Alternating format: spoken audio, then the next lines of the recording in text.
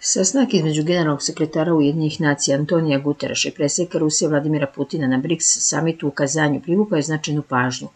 Diskusija je uglavnom bila fokusirana na aktualni sukob između Rusije i Ukrajine, pri čemu je Guterres naglasio neophodnost pravednog mira kako bi se okončao rat u Ukrajini. Antonio Guterres stigao je u Kazanj kako bi vodio razgovore sa ruskim predsjednikom Vladimirom Putinom u vezi rusko-ukrajinskog sukoba. Ovaj potez dolazi nakon što je kineski predsjednik Xi Jinping objavio plan za mir u ratu u Ukrajini, naglašavajući potrebu za dodatnom međunarodnom podrškom kako bi se okončali sukobi. Tokom samita Guterres je preneo poruku Putinu naglašavajući važnost postizanja mirovnog sporazuma u skladu sa poveljom Ujedinjenih nacija, međunarodnim pravom i rezolucijom Generalne skupštine Ujedinjenih nacija.